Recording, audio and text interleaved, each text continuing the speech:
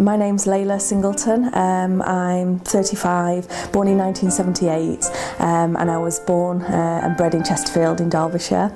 Um, My mum, um, she uh, had three children. I've got two sisters that are um, 12 and 14 years older than me, so I kind of grew up, it was like I had three mothers.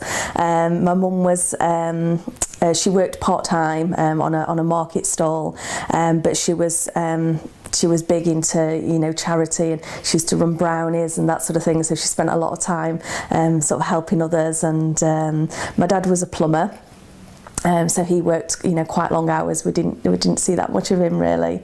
Um, so, uh, so yeah, it, it was like because of the age difference, I was kind of, um, it, it was almost like I was an only child, you know, and my two um, older sisters, you know, they helped help look after me. So, um, and as a family, really, we we we were quite religious. Um, my I've got a cousin who's like a priest and my uncle's very religious um, and we were actually uh, it's not sorry Catholic um, we were actually uh, Methodist Christians.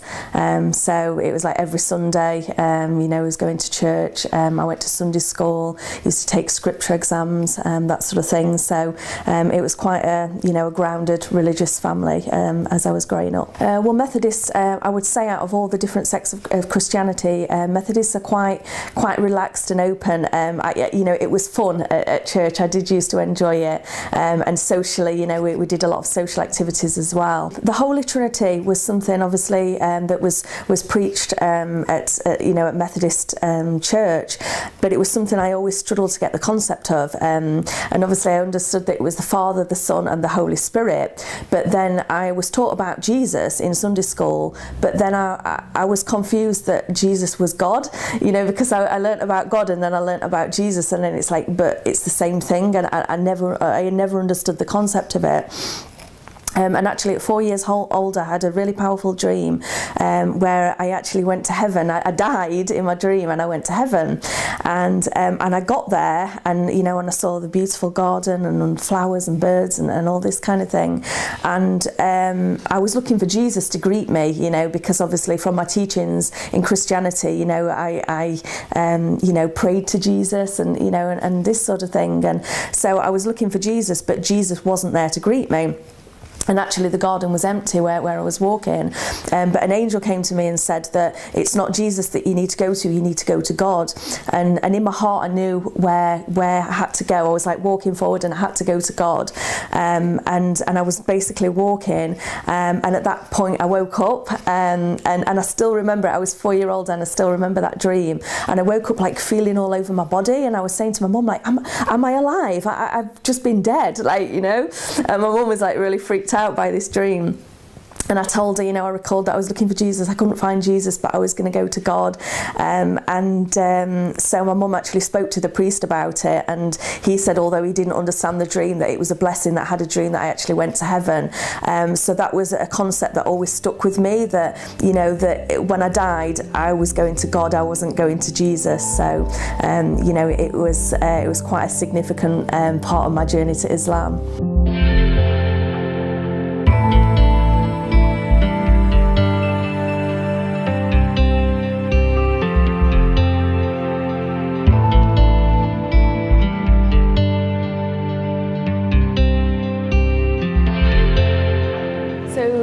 Before I, um, I reverted to Islam, um, I didn't really know that much about it. The only um, perception I had is, is from what I saw in the media. And obviously, it was quite negative. So um, I guess, you know, due to my own ignorance, my, my perception was, was quite negative about Islam. Like, I thought, you know, it was all about jihads and, um, you know, all about violence and this sort of thing. And, and so it wasn't until I actually researched and, you know, looked into, you know, the fact that Islam was a religion of peace Um, and then when I began to, to meet other Muslims, when I took my Shahada, you know, I was really surprised at how peaceful and patient and calm and, you know, what good characteristics uh, Muslims had. Um, so I guess it was then that I realised that the perception I had all my life about Muslims was, was wrong. And I guess now with me being a Reva and me meeting, you know, other non-Muslims, you know, and, and I talked to them about exactly what, what Islam means and what my religion means to me, um, you know, and, and they're surprised. So I think the more people that talk about Islam in, in a positive way, um, you know, the better. Unfortunately, um, like I say, just from what you see in the media, is, is not always the case of what Islam is about. Obviously, since taking my Shahada, I got to meet, uh, you know, lots of other Muslims, and, and, and they welcomed me with open arms. Like straight away, I felt like I was part of the community. They were really, really supportive with me. Um, and, and in terms of my social life, um, you know, alhamdulillah, it's been great um, because um, there's lots of social activities going on, you know, inside the masjid and out, uh, lots of community fundraisers and things like that. And, it, and it's just really nice to be part of a community where, you know, the people are all like-minded, you know, they're all good people with, you know, with good, good morals and it's, you know, it, it's really nice to be part of that community. Uh, when I was 10 year old, um, my, my, my family home separated, like my mum left and my family home separated, so we had a lot of um, hardships. You know, I was went from a very secure religious family to um, I lived with my dad and, and my stepmom who, you know, who weren't really religious. Um, so at that time, I, I started suffering from depression, like, you know, coming up to about 13 year old, I started suffering from depression and I, I kind of felt lost. Um, so through that journey, I, I looked, I was looking for something, uh, you know, I was looking for like an answer to, you know, to the problems that I'd got. And so I did a, a lot of searching, like at school, we did like religious studies.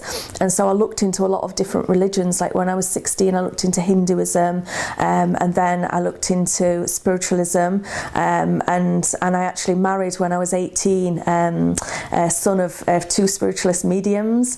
And um, so, you know, from there on, I, I, you know, I was looking into you know, to that for an answer. And, and my journey took me to Canada, though they were actually Canadians, so I moved to Canada. Um, and my best friend was a Native American.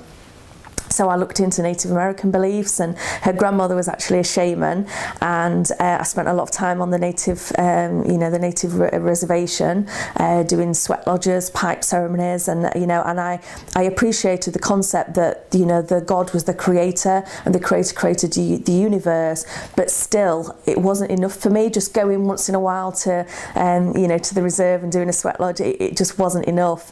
Um, so basically, my circumstances changed. Um, I separated with my husband husband um, when I was 21 and then I came back to the UK. Um, so I, I took with me, you know, all the beliefs that I'd got from, you know, my, na my Native American friends. Um, but, you know, I, I kind of let that go. And, and then I was still in a period um, of, of not knowing, uh, you know, what religion I was. I was uh, about 30 and uh, somebody said to me, um, you know, why have you ever listened to a Quran recital? And I'm like, no, you know, Islam is like something, even though I, I love Arabic language, like Islam is like something, a religion I've never looked into. So um, the person said to me, well, why don't you just listen to, you know, a Quran recital and see what you think? So basically, I uh, listened to a, you know the first Quran recital in, in Arabic, and I just had a life changing experience with it. Um, even though I couldn't understand the language, um, it moved me to a way that I was I was elated, uh, but I was in tears. I was like absolutely sobbing, um, and I had a really overwhelming feeling. Um, it, it's really strange, but it was almost as if something entered me you know it, it was that overwhelming you know it, it was like something was inside my body and, and I, I just felt overwhelmed. And, and I couldn't understand what it was or why uh, you know why I would feel so moved you know just by listening to the Quran. Like it, it basically stirred my soul uh, and I was alarmed by it. You know I was like why am I having this experience?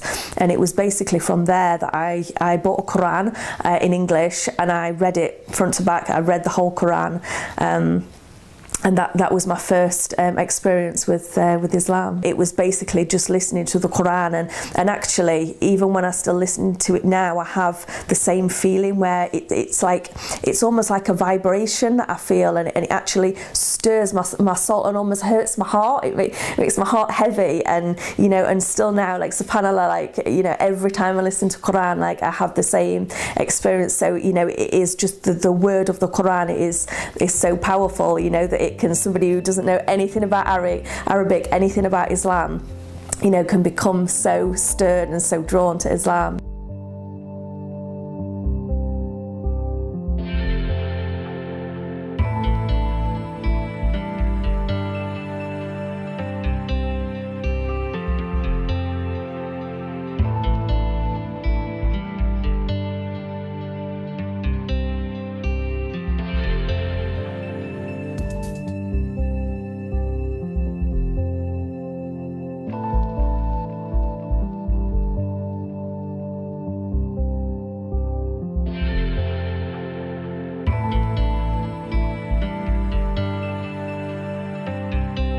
Um, the day after, um, I got a copy of um, a Quran, uh, an English copy, and uh, and I was just, you know, okay, I, I really need to look into this religion. You know, I've like, you know, throughout my life, you know, Islam has cropped up and I've dismissed it, and you know, and basically through me being stirred by listening to Quran, like, um, you know, I decided, right, I'm going to read it. So I basically just opened the first page and just started reading, like uh, Surah Al-Fatiha, um, and you know, and basically just read. I couldn't put it down. I just read and read the Quran. Um, and I was just, first of all, I was really surprised um, because I thought Islam was something so different to Christianity, thought Allah was completely different to God. Um, and, and then when I started reading Quran, um, I started reading about um, uh, Prophet Isa, peace be upon him, Jesus, uh, Moses, uh, Angel Gabriel, um, you know, and, and when I was a child, you know, all the studies that I did, um, I was suddenly reading and, and I was shocked. I was like, oh, okay, I didn't realise Islam was like, you know, it was about this, you know. And um, obviously the concept of there being only one God worthy of worship, you know, that was the thing to me that, um, you know, was like, yeah, uh, you know, Islam is for me because, you know, throughout my life, I've never accepted that Jesus and God is the same. I loved Jesus, um, you know, and, and then when I read that Jesus was... Um, a prophet, a messenger of God, I, I, could totally accept that. I wanted to become Muslim and I sort of kind of tested the water a little bit with, you know, some of my family members said, you know, I, I have been reading Quran and, um, you know, and, and I, I want to become Muslim. And um, obviously at the time it was post the 9-11 and, um, you know, basically the, the portrayal in the media was just like, you know, the only thing you learnt about uh, Muslims were, you know, oh, the terrorists and, you know, and all this. So there was a bit of fear like within my family and, and with my to, you know, a certain extent. Um, and so, you know, I, I, mentioned it to my family, and they were basically, "No, don't don't do it. It will ruin your life if you become Muslim. Why would you want to do that?" Um, you know, and and at the time, I thought, yeah, you know, maybe I, I, can't, I can't do it. So I became like a closet Muslim. I was like, I was listening to Quran in secret and I actually ended up in a relationship with an atheist. Um, and so religion was something in the relationship that I, you know, was never discussed. Um, so I used to like in the car, I'd listen to recitals of Quran or, you know, like I had my Quran like hidden away. And it was something that was always there in the background. Um, but, you know, throughout my relationship, it was, you know, if I mentioned anything about Islam, it was like, it's like, you know, it was totally shunned upon. And it was really difficult because it was like I couldn't be the person that I wanted to be. And, and fundamentally, in, in the relationship, the relationship was flawed because, you know, if you have different beliefs with somebody, like how can you be a life partner with that person? It, it just didn't work.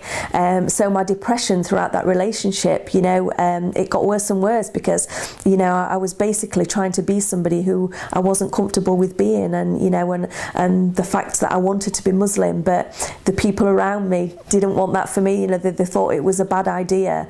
Um, and it, it was, I was like, I was just fighting myself myself, you know, for, for really for five years, you know, it was something I wanted to do. Um, and it wasn't until um, that relationship actually separated and I had, you know, it ended up being quite a violent relationship and um, it was a horrific breakup and it was a point where I should have just, you know, shattered to pieces. And uh, I picked up the Quran and I started reading Quran every day, listening to Quran recitals. And, and my friends actually commented, you know, oh, you, you, you're doing really well, like, you know, you appear to be really strong. And, you know, and it was day by day listening to Quran literally gave me um, you know this strength um, to a point where um, you know I was on all these heavy antidepressants. Um, I was like a zombie. I was like falling asleep all the time and you know and this this sort of thing. And uh, you know through it was probably about a month of listening to Quran daily. And I just thought do you know what? I don't even feel depressed anymore. And it, and it is literally through having this time, you know, reading Quran, it, it, I felt like it cured me um, to a point where, you know, I thought I don't need to be on the tablets anymore.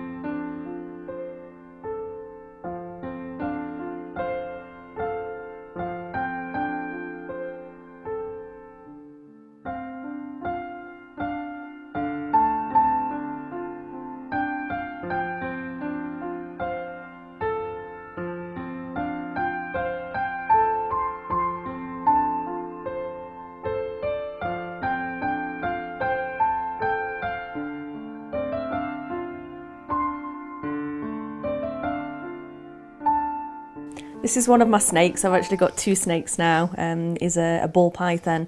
Um, but before Islam, I, I actually had a lot of um, reptiles. I had like over 50 reptiles, and um, I was, um, you know, used to listen to heavy metal music, and very different from the person that I am now. Um, obviously, he's a reminder, I guess, of, of my life before Islam. Um, but obviously, yeah, you know, with my old life, you know, there was a lot of sadness there, a lot of depression, and and this sort of thing. Um, Islam has given me an inner peace and, and give me a calm that I didn't have before. Um, and obviously, you know, with snakes, you know, I find they are very calming. So, um, you know, even though I'm Muslim, I'm still the same person that I was. I'm just a calmer, more grounded person.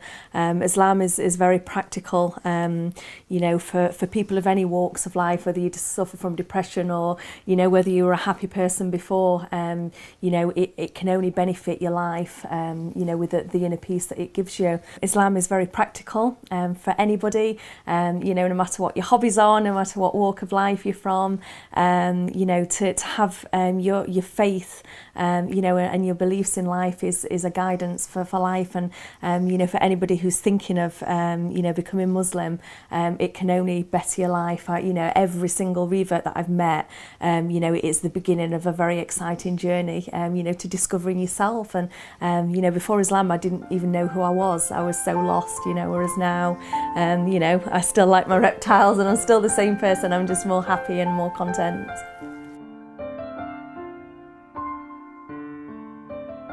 At the time when I realised that I wanted to accept Islam, um, I'd still got a lot of doubts, and the doubts were from you know what I'd seen in the media, or I did it, you know, I researched and um, I looked into all things like oh, you know, Islam oppresses women, you know, you're forced to do this, uh, you know, they stone women, they do this Sharia law, and, and I was so frightened because I'm like, okay, well, I found my belief, I found something I really want to do but I'm so terrified of Muslims still, you know. And so uh, it was basically through research, through talking to people that I realised that actually Islam and Muslims are different. Islam is perfect, Muslims aren't. Don't confuse the two. And that um, you know, like the, there is cultural differences with you know with Islam. Like with Islam, there is one race which is the human race. So it doesn't matter whereabouts in the world you come from. You're united. Your brothers and sisters in the Ummah, and you're united with with Islam. Um, so obviously, some of the bad things that I were reading about were you know certain cultural practices but was not what Islam was about you know. Uh, fundamentally Islam is about peace. Uh, you know the greeting assalamu alaikum uh, peace be upon you. Um, you know and it's not a religion of hate. It's not a religion of fighting. And um, you know for example jihad like you know it, it just installs fear in people. Um, you know I studied and I learned that jihad is actually a, a battle um, you know with, within your own self you know in, in the name of God. So it can be very various things. You know, you can be battling your own nafs, like your own desires, or um, so basically I, I re-educated myself of what actually Muslims were um, and then it was uh, at that point that I was ready to you know coming up to taking the Shahada.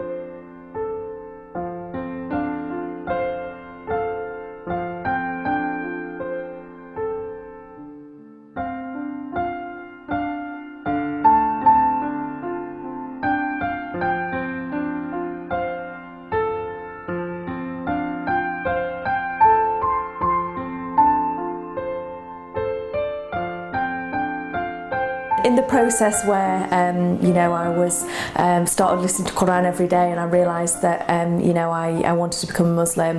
Um, and I started like upping my research. I was like just you know watching YouTube and you know all sorts of research on the internet. Um, and then I actually came across you know I, I looked at people's shahadas because I heard about that's how you became Muslim. She took a shahada. So I'm like okay right. So I watched uh, different shahadas and there was just this one shahada in particular um, where there was a sheikh with a, a British brother. Was actually a black brother and he was taking his Shahada. Um, beforehand, the Sheikh asked um, the, the, brother lots of different questions, and I'm stood at, uh, at the sink and I'm washing my pots, and you know, and I'm listening to this, and and I was just like so moved by the Shahada, like I ended up in tears. You know, it was really emotional, and all the questions that the Sheikh was asking the brother, I was thinking, yeah, I, I truly believe all those things. Um, so as I'm as I'm washing the pots, like I basically just took my Shahada there and then I, um, you know, I started like reciting, like copying, the, you know, what the sheikh was was saying and and then that was it. So I felt from that moment I was officially a you know a Muslim. So it was a it was a real um you know um uh, you know it was a real big moment in my life. I think there's a lot of people who are doing a lot of soul searching, especially in this this day and age. You know, it's a time where a lot of people have, have lost themselves. You know, that they don't really have a purpose in life. And you know, for people who are actually doing some soul searching and looking into religion, um, you know, with Islam, it's something that that people fear. Um, but if you take the time and, and open-mindedly look into Islam, you'll see what a practical religion it is. I mean, you know, scientifically, it's proven that you know 1,434 years ago, you know. Um, um, it, it was uh, you know written how how babies were born. We only knew that like one two hundred years ago scientifically. Um, you know there's so many facts that it's a practical religion. Um, you know and if people look into it with a you know an open mind, um, I think people would be very surprised um, just you know what uh, an amazing peaceful religion uh, Islam is. Um, I basically got a date set um, to take my Shahada um, and I was really scared because I never met an Imam before, I'd never been to a mosque before um, and uh, I'd, I'd, already started wearing hijab at that time which um, was quite a difficult process in itself, um, you know, like breaking it to my family and, um, you know, and work and that sort of thing. So by the time I took my Shahada I was already, wearing hijab. So I went in and as soon as I walked through the doors at the masjid I felt like I came home uh, you know, I just felt so welcomed by everybody. I met all the sisters, and you know, they all hugged me and kissed me and, and all this kind of thing. And I took the Shahada and I've never felt so right in you know in basically sat down and saying those words it was perfect. You know the moment was just perfect. And I was like this is the this is the start of the rest of my life. It's it's a new me. I've I've had a you know I had a new break. You know I've had a chance in life. And, and this is it from this moment. Like my life changes. And after that, uh, I sort of swapped numbers with the sisters and, and they took me upstairs to the madrasa where they were teaching the children.